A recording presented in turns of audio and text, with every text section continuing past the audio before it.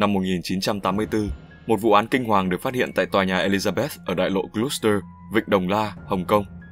Khởi đầu cho một bí ẩn mà gần 40 năm qua vẫn chưa có lời giải đáp.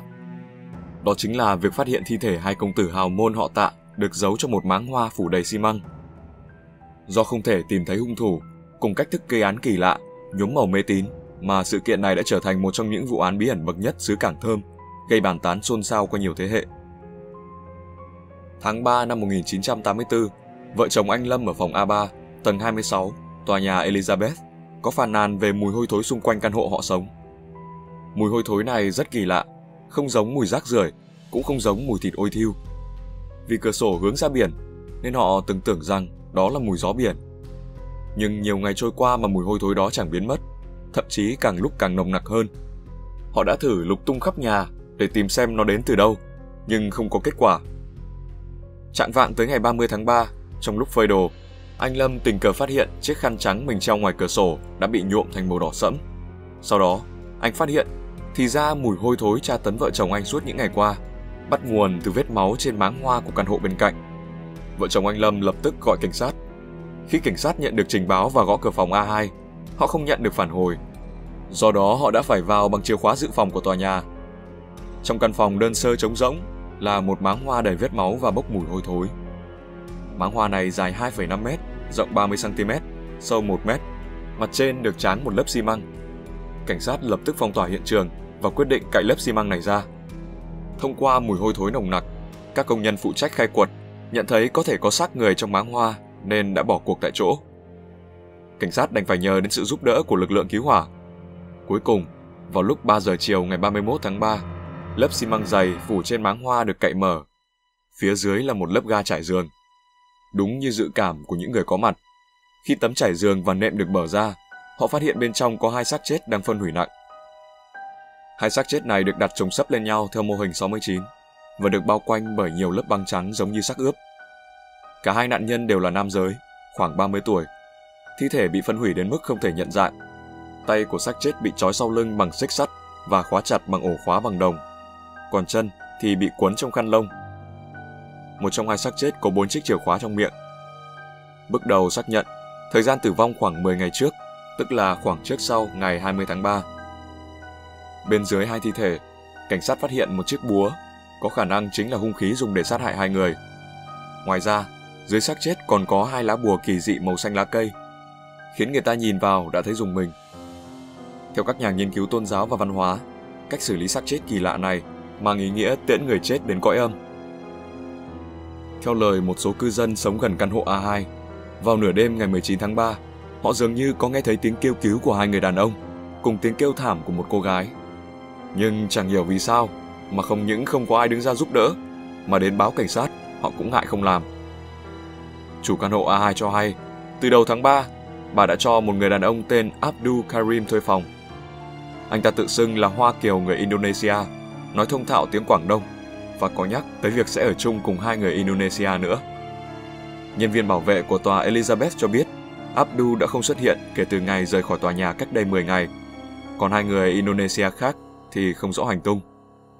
Dựa vào đó, cảnh sát bước đầu suy đoán người chết là hai người Indonesia, còn Abdu thì đã bỏ trốn vì sợ hãi sau khi phạm tội giết người. Nhưng ngay sau đó, vụ án xuất hiện một bước ngoặt mới.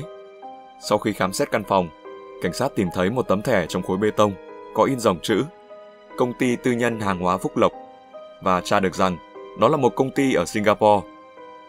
Nhận thấy đây có khả năng là một vụ án mạng xuyên quốc gia, cảnh sát Hồng Kông đã hợp tác với phía Singapore để xác minh danh tính nạn nhân. Kết quả giám định hồ sơ nha khoa cho thấy đó là hai anh em Tạ Thuận Phát và Tạ Thuận Thành, con trai của nhà kim hoàn nổi tiếng Tạ Mỹ Khanh và cũng là thành viên của một trong những gia đình giàu có bậc nhất Singapore.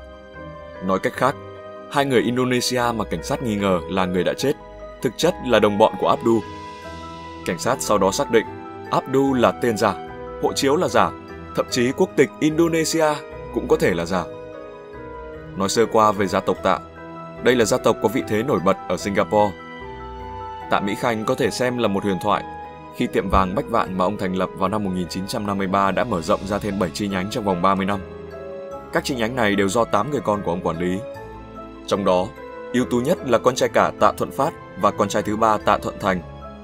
không chỉ quản lý tốt tiệm vàng Bách Vạn, cả hai còn thành lập công ty Phúc Lộc vào năm 1982, tập trung vào đầu cơ vàng, đồng thời mở rộng kinh doanh sang Malaysia, Indonesia và Brunei. Cũng bởi vậy mà việc hai người họ ra nước ngoài để giải quyết công việc là điều thường thấy. Vào ngày 28 tháng 2 năm 1984, cả hai đã vào Hồng Kông và ở tại khách sạn Royal Garden ở Tiêm Sa Trì. Nhưng kể từ ngày 2 tháng 3, họ đã biến mất không rõ lý do, bỏ lại hành lý trong phòng khách sạn. Phải tới 28 ngày sau, thi thể của họ mới được phát hiện trong máng hoa của tòa Elizabeth. Vụ án mạng của hai anh em nhà họ Tạ không chỉ gây chấn động ở Hồng Kông, mà còn khiến cả Singapore chấn động. Nhưng cho tới nay, vụ án này vẫn chưa có lời giải. Thứ nhất là vì ba kẻ tình nghi vẫn bật vô âm tín. Thứ hai, bởi vụ án liên quan đến hai nơi nên tin tức được đưa ra rất phức tạp và vô cùng hỗn loạn. Do đó, đây được đánh giá là một trong những vụ án nan giải nhất trong lịch sử Hồng Kông. Cảnh sát Singapore tin rằng người em trai Tạ Thuận Thành đã đến Hồng Kông một mình vào ngày 28 tháng 2 và sau đó bị bắt cóc. Kẻ bắt cóc đã liên lạc bố của Tạ Thuận Thành để đòi một triệu đô la Singapore. Vì lo lắng cho sự an toàn của con, nên ông Tạ không báo cảnh sát. Thay vào đó, ông cử người anh trai là Tạ Thuận Phát đến Hồng Kông để giải cứu em trai mình với 500.000 đô la. Không may là cả hai đều bị giết. Có điều, suy đoán này của cảnh sát Singapore đã bị gia đình họ Tạ bác bỏ. Cảnh sát Hồng Kông thì cho rằng có sự bất thường trong việc anh em họ Tạ đến Hồng Kông tận 3 lần, từ tháng 11 năm 1983 đến tháng 2 năm 1984.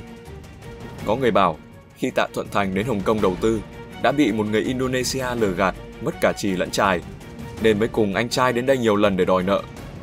Các tờ báo năm đó cho biết, trong thời gian hai người ở Hồng Kông, cha họ ở Singapore đã nhận được điện thoại thông báo họ bị bắt cóc và nhận được một bức ảnh hai anh em họ bị trói cùng nhau. Cha của họ do đó đã gửi 1,8 triệu đô la Hồng Kông tiền chuộc đến Hồng Kông. Số tiền này sau đó được nhận bởi một người đàn ông mang chứng minh thư của Tạ Thuận Thành từ một công ty tài chính.